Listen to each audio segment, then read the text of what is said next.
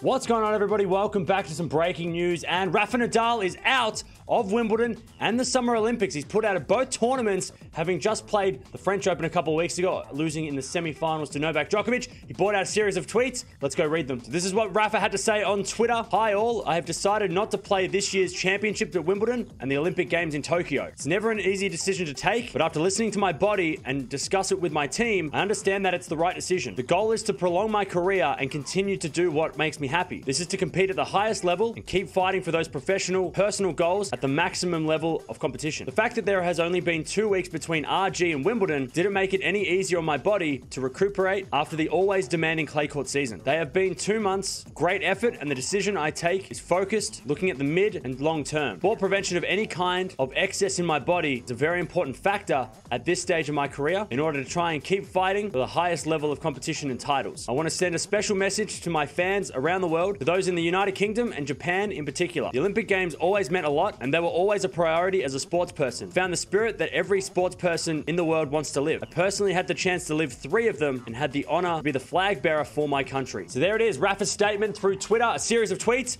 giving thanks to the fans as well. And by the end of that, it sounds like he's not going to play another Olympics, which means in 2024, Rafa might not be around, which again, maybe that hints at a little bit of retirement. Who knows? But it's a smart decision, I think, for Rafa not to play Wimbledon. He did make the semi-finals back in 2019, so he is going to lose a lot of points from that. But I think it's a smart decision from Rafa. I don't think he needs to play Wimbledon. And of course, the Olympic Games, you don't get any points for that anyway. He already has a gold medal, so it's not a big loss for him in terms of his overall career. And he can prolong his career. We're probably going to see Rafa back at the US Series, so the US Open Series when they're playing on the hard courts back in North America, which is good to see because he has to defend the title from 2019, all those points as well. So, smart decision from Rafa, and we know he's had a brutal clay court season. We've watched him play against guys like Tsitsipas and, of course, Djokovic in that semi-final. Those matches were brutal, and Rafa, he's not getting any younger. Let me know down in the comments below, do you think this is a good decision for Rafa, or do you think he should be playing Wimbledon? At least play Wimbledon. Maybe not do the Olympics, but maybe at least play Wimbledon.